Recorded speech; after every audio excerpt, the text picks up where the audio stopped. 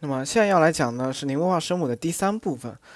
那么第三部分呢会讲五个声母。那么首先呢是 ts 表示的，它是一个轻不送气齿龈塞擦音。那么呃国际音标也是 ts 表示的。那么宁波话声母中 ts 的发音与普通话声母 z 是相同的。我来读一下例子，比如说子、子、猪。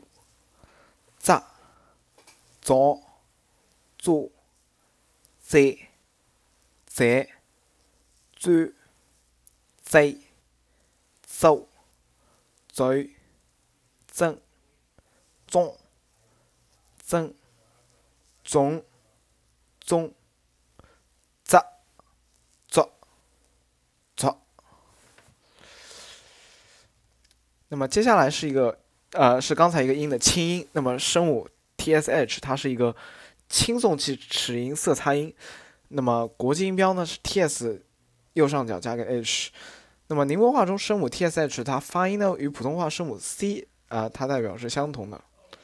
嗯，比如说次、词、粗、擦、草、错。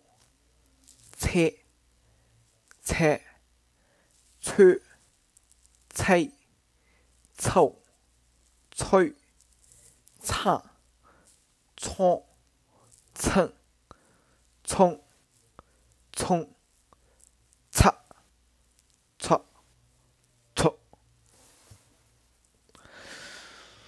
那么接下来呢？声母啊，用。D z 字母表示的这个声母是一个浊齿龈塞擦音，那么国际音标呢是用 d 和 z 的字字母来表示。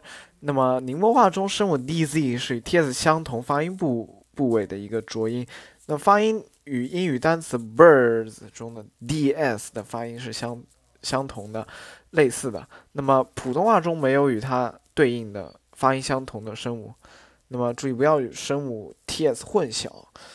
啊，那举例来说就是，字、字、字、早、做、在、在、转、长、长、正、从。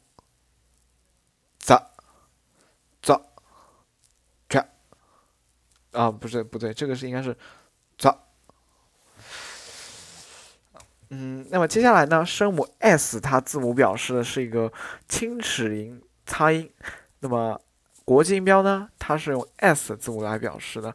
那么宁波话中声母 s 它它的发音是与普通话声母 s 是相同的。那比如说，四、苏、苏、萨、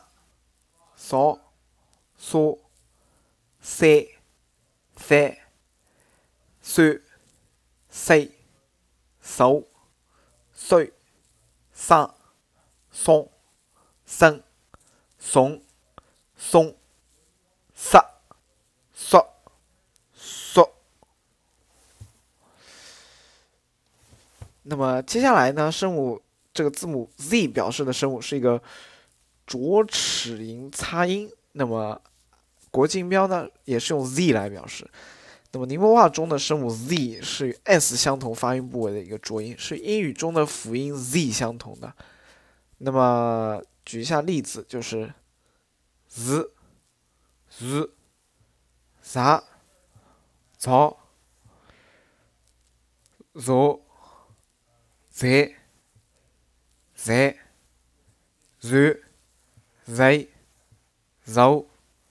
肉、肉、人、从、日、日、日。好，那现在这一课声母就讲到这。那如果大家感兴趣，可以关注一下吴语学堂。那么下次再见了，再会。